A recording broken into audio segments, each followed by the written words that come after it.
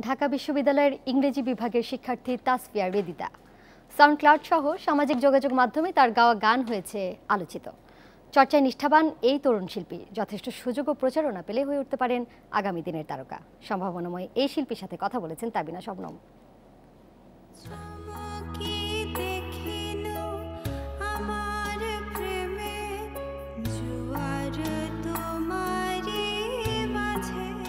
আমার শ্যুট তো মফস্বলে। গোপালগঞ্জে।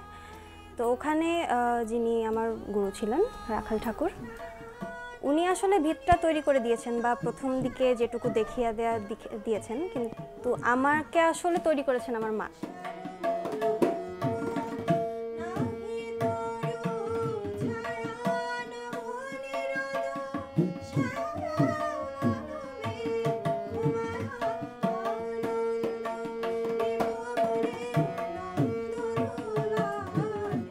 মফসলের পার্ট শেষ করে ঢাকায় আসলাম যখন, তখন আমি ছায়ানটে অনুপ বড়ুয়ার কাছে ক্লাসিক্যালের ট্রেনিং নিয়েছি উচ্চাঙ্গ সঙ্গীতে। ওটা শেষ করার পরে নজরুল গীতি শিখেছি ইয়াকুব আলী খানের কাছে, এখনও শিখছি। আর নজরুল নিয়েই কাজ করার ইচ্ছা।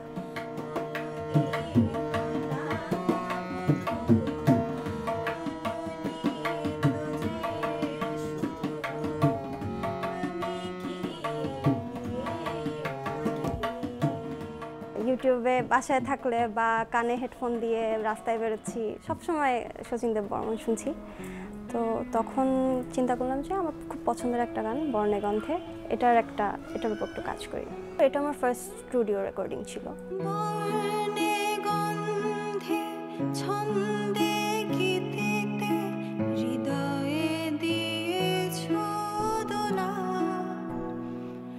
রঙেতে